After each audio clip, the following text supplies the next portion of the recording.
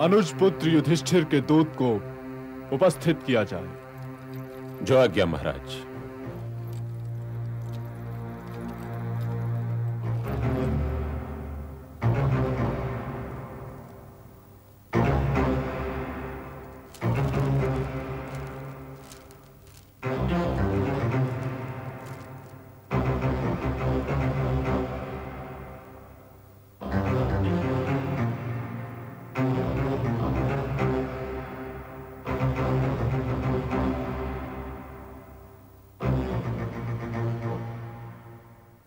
महाराज की जय हो।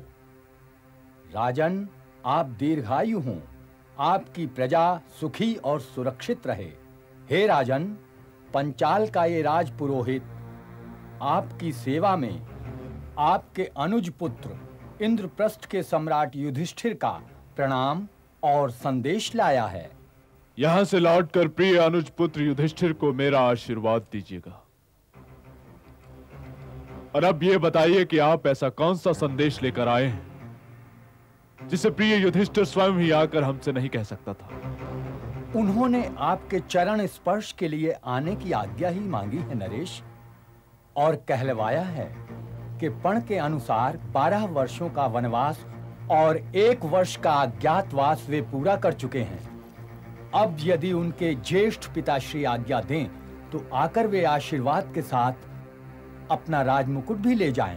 कैसा राजमुकुट पुरोहित? उनके अज्ञातवास को स्वयं मैंने विराट में भंग कर दिया था और उसी के आनंद में युद्ध हार गया था। जाकर उनसे कह दो कि पण के अनुसार उन्हें हमारे कहे बिना ही बारह बरस के वनवास को स्वीकार कर लेना चाहिए था। पांडवों को दूत भेजते लाज तक नहीं आई।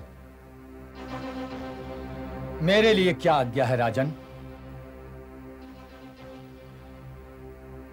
मुझे विचार करने दीजिए कि मैं अपने प्रिय अनुज पुत्र युधिष्ठिर के लिए अपने आशीर्वाद के अतिरिक्त और क्या भेजूं? अज्ञातवास के विषय में कुछ उलझने हैं। कुछ गणित शास्त्री ये कहते हैं कि विराट युद्ध से पहले अज्ञातवास समाप्त हो गया था। और कुछ गणित शास्त्री ये कहते हैं कि समाप्त नहीं हुआ था। गंगा पुत्र भीष्म और कुलगुरु कृपाचार्य क्या कहते हैं? तुम होते कौन हो प्रश्न करने वाले? तुम केवल दूत हो और प्रश्न करना दूत की मर्यादा नहीं है। जो आयु और ज्ञान दोनों ही में तुमसे बड़ा हो उसे तुम कहकर संबोधित करना भरत वंश के छोटों की मर्यादा नहीं है पुत्र दुर्योधन। किसी दूत का अपमान करना किसी युवराज को शोभा नहीं देता।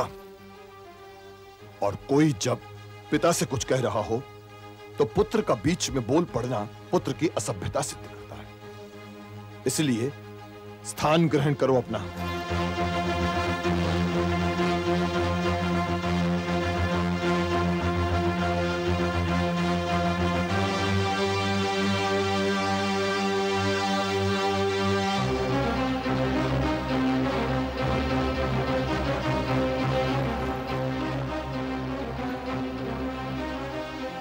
सभ्यता धरोहर में नहीं मिलती गंगा पुत्र।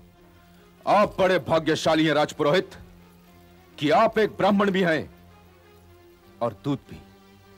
यदि ना होते तो युवराज दुर्योधन का यूँ अपमान करने पर दंड पाते।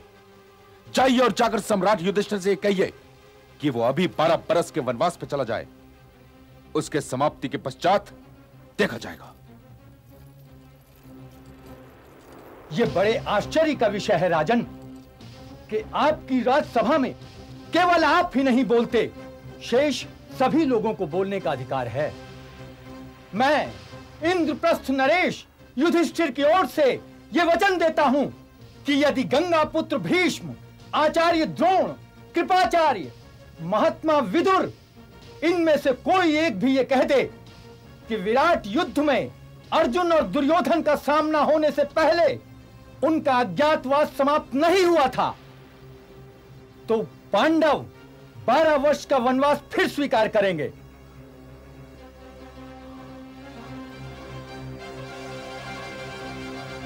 कुलगुरु कृपाचार्य आपके उत्तर पर इसका आधार है कि शांति रहेगी या युद्ध होगा। चंद्र और सौर दोनों की गणनाएँ ये कहती हैं कि पांडवों का अज्ञातवास, विराट युद्ध में युवराज और कुंती पुत्र अर्जुन का सामना होने से पहले ही समाप्त हो चुका था। कुलगुरु, जिस थाली में खाते हो उसी में छेद मत करो। चंद्र और सौर गणनाएँ कुछ भी कहती हो, परंतु मैं, गांधारी पुत्र दुर्योधन यह कहता हूँ कि पांडवों का ज्ञातवास भंग हो चुका था। और जो मैं कहता हूँ वही सत्य है। तो क्या मैं महाराज युधिष्ठिर के पास उनके संदेश के उत्तर में हस्तिनापुर का यही सत्य असत्य ले जाऊँ महाराज? नहीं नहीं। आप प्रिय युधिष्ठिर से कहिएगा कि मैं शीघ्र ही अपने किसी दूत द्वारा अपना प्रस्ताव भेजूँगा।